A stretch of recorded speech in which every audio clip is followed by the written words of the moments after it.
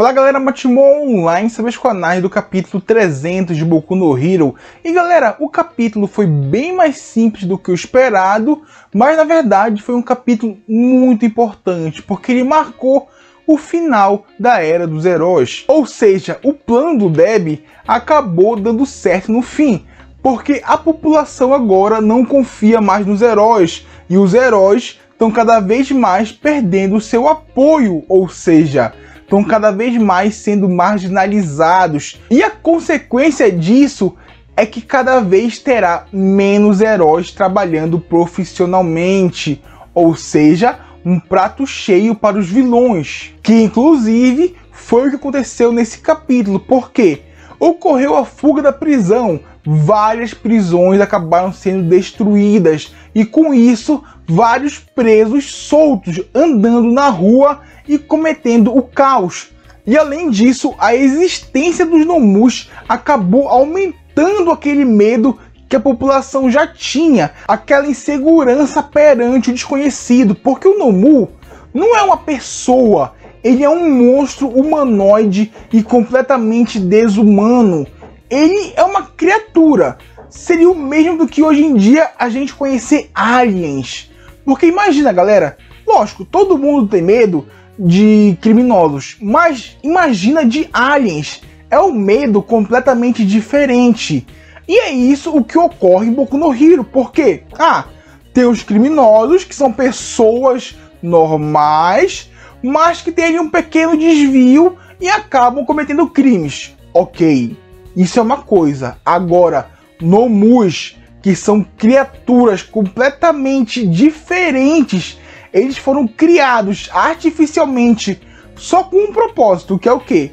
Causar o terror, destruir e ser a criatura mais forte do mundo. Literalmente, o propósito dos Nomus é esse. Então, lógico, a população ia ficar cada vez mais assustada, porque, galera, eles não sabem o que esperar dos Nomus. E graças a todo esse medo essa insegurança, as pessoas passaram a se autodefender, ou seja, os civis usando equipamentos de suporte começaram a combater os criminosos.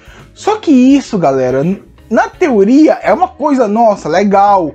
Na teoria é muito bom, mas na prática é ruim, é horrível, porque os civis não sabem lutar, ou seja, o que é para ser uma luta contida pelos heróis acaba sendo uma luta completamente destrutiva e sem qualquer limite feita pelos civis. Lógico, eles têm o direito de se proteger? Tem, com certeza tem. Só que como eles não têm o controle de como se proteger, eles acabam passando o limite e isso acaba levando a um caos completamente maior. E na verdade era isso que os vilões queriam, galera. Porque as sementes que o Dev plantou foi a semente da dúvida, do medo, da insegurança, do o que era ser um herói, o que é um herói. E essas sementes acabaram germinando e dando frutos, que foram literalmente esses civis que não gostam mais de heróis e querem se defender sozinhos. E galera, a partir desse ponto já vira aquela bola de neve. Por quê? Ah, os civis começam a lutar com os bandidos. Os civis não têm controle. Então eles começam a envolver qualquer pessoa ao seu redor. E essas pessoas ali que confiavam e esperavam os heróis acabam ficando decepcionadas porque se machucaram, acabaram tendo problemas e os heróis não estavam ali para ajudá-los. Então a rejeição aos heróis acaba crescendo cada vez mais. E como eu falei, é uma bola de neve. Chegam os vigilantes, lutam contra bandidos, acabam envolvendo civis inocentes ali. Os civis inocentes acabam ficando com raiva dos heróis. E esses civis que já estão com raiva acabam virando vigilantes. Ou seja, é uma bola de neve sem fim.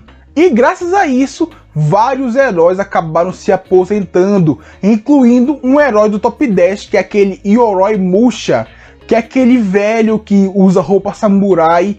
Ele foi um dos primeiros a se aposentar, porque literalmente acabou, mano. Acabou. os heróis acabaram. O que, o que mantinha os heróis vivos era a confiança da população. Só que agora eles não têm mais isso. E sem o apoio popular, galera, o que seriam os heróis? Porque os heróis são as pessoas para defender o povo. Só que a polícia também tem essa função. Então, os heróis são o quê? E esse também é o questionamento que a própria população está fazendo. O que são os heróis? Basicamente, os heróis são símbolos. Eles são aquele símbolo da paz que o All Might era. Eles são um símbolo de segurança, de conforto é o símbolo de o quê? Ah, aconteceu um desastre, na mesma hora vai aparecer um herói. Esse aqui é a função dos heróis, serem um símbolo, serem um símbolo da esperança. E galera, se não fosse para ser isso, eles seriam todos policiais. Simples, porque a polícia aparece, lógico, quando é chamada. Os heróis têm que aparecer antes de serem chamados. Eles têm que sentir o perigo e aparecer na hora. Ou seja, são duas vertentes completamente diferentes. Inclusive, acabou também culminando na pichação da estátua do All Might, com a frase no peito dele escrita: Não estou aqui. Ou seja, é uma forma simbólica de acabar com o símbolo da paz, de mostrar que atualmente o símbolo da paz não existe. E além disso, outra dúvida da população era a seguinte: e quais são os heróis de verdade? E nessa hora, o mangá mostrou uma imagem do Sten, ou seja, será que o Sten vai acabar virando um herói de verdade para a população? Porque o Sten é um vigilante e era um cara que já estava há muito tempo contra os heróis falsos. Ou seja, ele pode acabar virando uma espécie de líder durante esse tempo nebuloso dos heróis. É bem possível. E lógico, toda a população acabou culpando o Endeavor, o herói número um, que na verdade era um grande cuzão.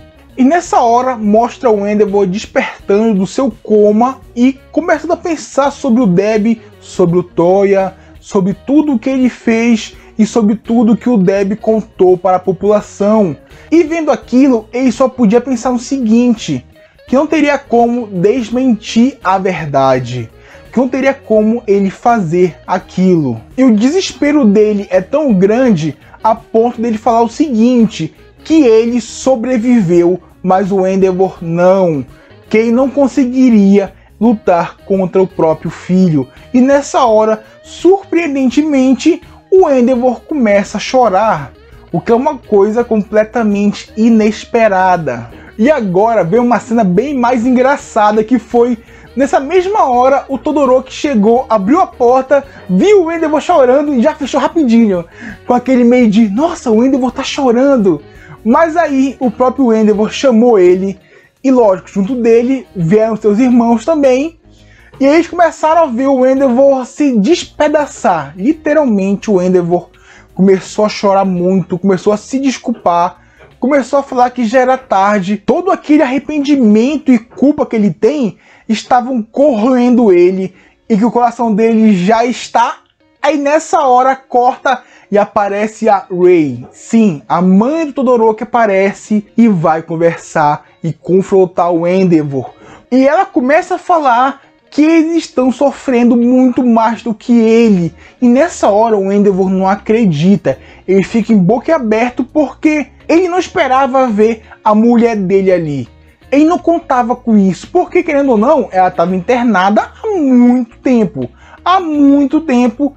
E de repente ela está ali, em pé, na frente dele e indo confrontá-lo e falando: temos que conversar sobre o Toya.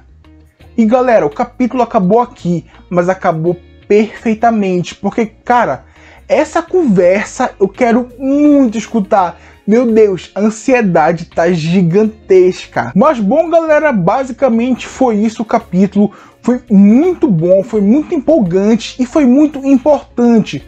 Porque, galera, se pegarmos o ponto de que a era dos heróis acabou, que os heróis não são mais de confiança e que grande parte dos heróis possivelmente irá se aposentar, vai acabar existindo uma era nebulosa, uma era aonde os vilões comandam a cidade, aonde os vilões comandam o país e aonde a população tem que se defender sozinha.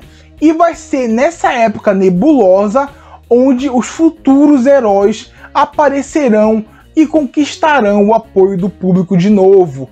Pelo menos eu acredito que deva seguir esse rumo. Mas é aquilo, né, galera? É impossível prever o futuro. Então vamos esperar para ver. E bom, basicamente foi isso aí. Se você gostou, deixe seu like, inscreva-se no canal, compartilhe com seus amigos. E é isso, galera. Valeu! Falou!